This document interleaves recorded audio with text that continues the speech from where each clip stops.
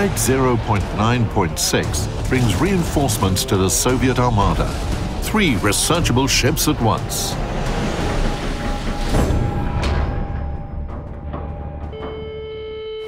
The new branch starts at Tier 8 with Tallinn. German Navy enthusiasts will find the exterior of this ship familiar. Tallinn is one of the project sisters of heavy cruiser Admiral Hipper. This translates into her having a decent amount of HP and good armor on her sides and ends. However, because of her 180mm guns, Tallinn can be formally classified as a light cruiser. She also carries a different set of consumables. Like the majority of Soviet cruisers, Tallinn has surveillance radar in one slot and the choice between defensive AA fire and hydroacoustic search for the other slot. While Tallinn is a direct relative of Hipper, the cruisers that follow her, Riga and Petropavlovsk, represent different stages of Project 82, which also produced another famous Soviet ship, Stalingrad. Naturally, they have a lot in common, especially when it comes to their armor protection. For example, when Riga and Petropavlovsk keep their bows towards the enemy, penetrating them is a difficult task, even for ships with big guns. Their secret is the presence of an armor belt at their fore ends. As for the protection of their sides, even the impressive 180mm of armor on Petropavlovsk is still vulnerable to direct hits from enemy armor-piercing shells. If losing HP is unavoidable, you can always make use of the repair party consumable that both Riga and Petropavlovsk have at their disposal.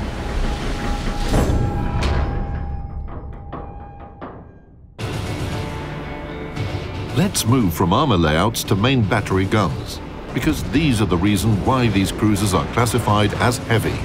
Riga and Petropavlovsk have all bases covered here, as they both possess nine 220mm guns. Special characteristics of their main batteries allow both cruisers to be highly effective when firing armor-piercing shells. They are notable for having a short fuse delay and good armor penetration, even at angles that would usually result in ricochets for other cruisers. The Soviet newcomers' high explosive shells are also likely to come in handy, especially in situations where an enemy ship keeps her bow pointed forward. Petropavlovsk's main turrets deserve a special mention for their ability to rotate 360 degrees, which is especially important when it's necessary to quickly shift fire from one side of the ship to the other. We would also like to discuss the accuracy of the new cruisers. Due to the specifics of their dispersion ellipse, their accuracy isn't the best compared with their counterparts. This becomes especially clear when firing across long distances. As such, the new cruisers should try to get close to their targets. Their optimal firing range is between 10 and 12 kilometers. A high muzzle velocity and flat trajectory make for more comfortable artillery use on the new ships.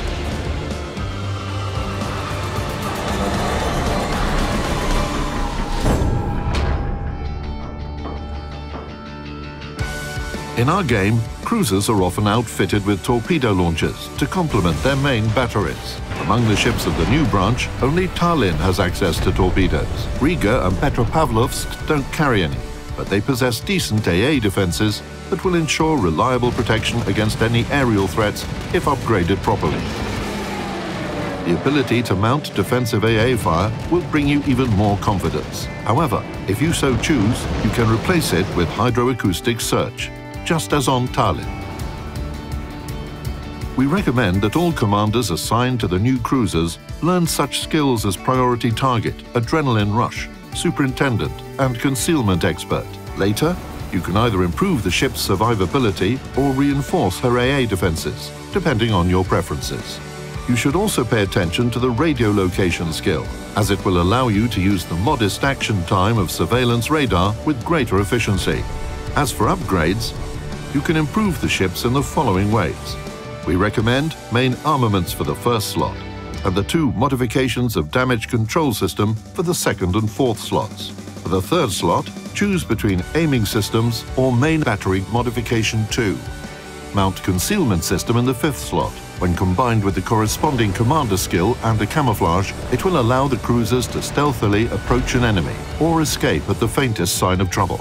For the sixth and final slot on Riga and Petropavlovsk, we recommend Main Battery Modification 3 to increase the reload speed of their main batteries.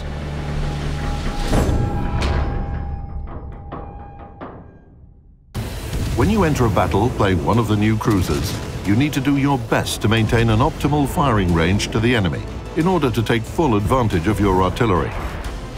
This applies to all three cruisers. Decent armor, reliable AA defenses, and detection consumables will help you to achieve that. If you suddenly find yourself under focused fire from several enemies at once, be ready to retreat using your good speed and concealment. Make sure you take advantage of your powerful armor-piercing shells as often as possible.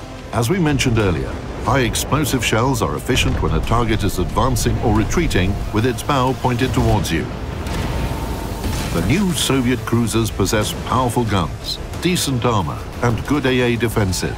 An impressive combination for a glorious battle, wouldn't you say? Don't believe me? Then take command of one of the newcomers and see for yourself.